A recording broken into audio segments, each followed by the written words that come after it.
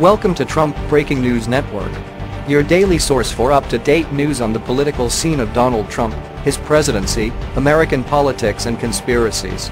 Please subscribe to receive notice of our daily updates, also share with your friends and your social media. We encourage you to like our videos and give your comments. This is TBNN. ADP Services reports largest number of new manufacturing jobs in history, 40,000 new manufacturing jobs in November. Payroll company ADP reported the largest monthly increase in manufacturing jobs ever in their history for November.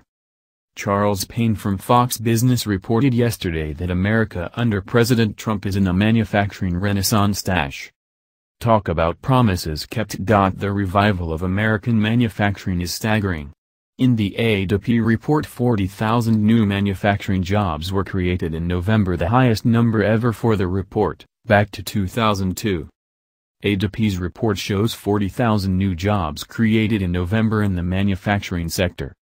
According to the ADP report, Mark Zandi, chief economist of Moody's Analytics, said.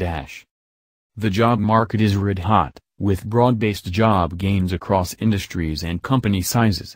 The only soft spots are in industries being disrupted by technology, brick and mortar retailing being the best example. Winning, winning, winning, record-setting. This has been the Trump Breaking News Network. Please subscribe and share to stay up to date on the latest news about our president. Be informed.